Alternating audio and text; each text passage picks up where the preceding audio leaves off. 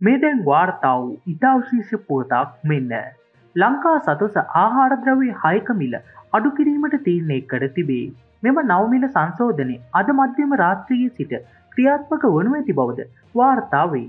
ඒ අනුව මෙලෙස මිල අඩු කිරීමට තීරණය කර ඇති ආහාරද්‍රවී මෙසේය. සුදුලූුණු කිලෝ එකක මිල රුපියල් හැටකින් අඩුකර ඇති අතර එහි නවමිල වන්නේ රුපියල් හාරසිය අනුවෝසී. පාම්පිටි කිලෝ එකක මිල රුපියල් පනස් පහකින් අඩුකර ඇති අතර එහි නවමිල වන්නේ රුපියල් තුන්සිය විස්සකි. හාල්මස්සන් කිලෝ එකක මිල රුපියල් පණහකින් අඩුකර ඇති අතර එහි නවමිල වන්නේ රුපියල් එද්දාස් හාරසිය පණහකි හඩල පරිප්පු කිලෝ එකක මිල රුපියල් තියකින් අඩුකර ඇති අතර එහි නවමිල වන්නේ රුපියල් දෙසිය අසූපහකි. සුදුසීනි කිලෝ එකක මිල රුපියල් පාලෝකින් අඩුකර ඇති අතර එහි නවමිල වන්නේ රුපියල් දෙසිය හැටකි. ආනයිනික සුදුකැකුළු සහල් කිලෝ එකක මිල රුපියල් පාකින් අඩුකඩ ඇති අතර. එහි නවමිල වන්නේ රුපියල් එකසිය හැට නමයකි.